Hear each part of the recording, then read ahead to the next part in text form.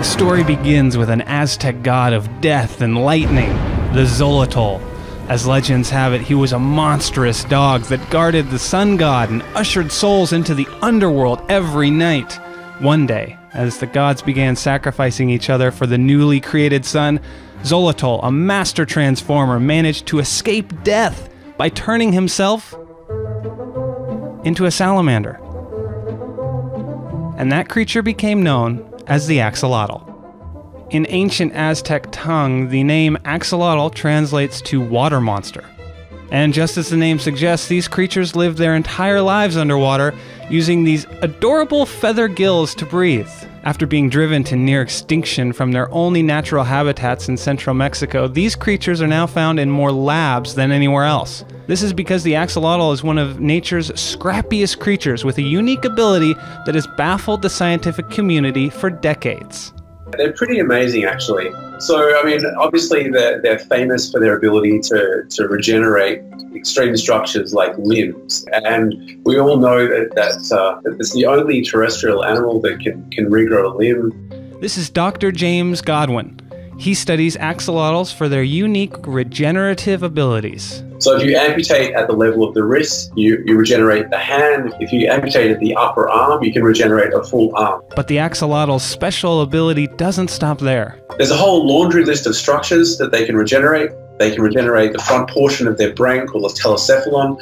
You can crush their spinal cord or sever the spinal cord, and in about three weeks, all of the spinal cord machinery will reconnect, and uh, the, the, the tail and the legs will work again. They can regenerate impressively the testes. Most importantly, they can regenerate like a third of the heart ventricles. So if you amputate or injure a third of the heart, uh, it'll regrow that in the course of about 30 days to 60 days. Comparative to humans, where a tiny little blockage in a heart uh, vessel will lead to extreme damage and eventually death.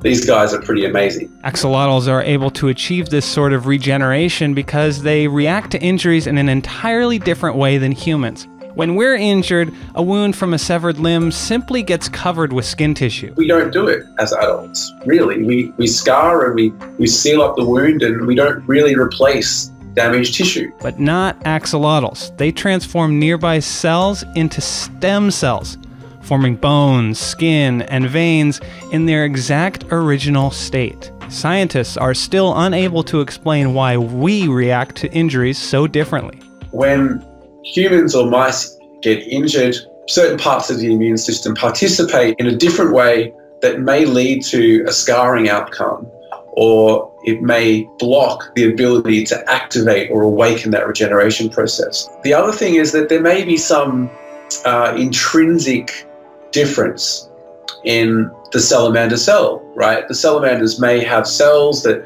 are poised, ready to take place in a, in a reaction of regeneration, and that human cells could be somewhat locked down in their potential. Recently, researchers gained access to the full genome sequence of an axolotl, allowing them to identify specific genes and proteins that could hold the key to regeneration.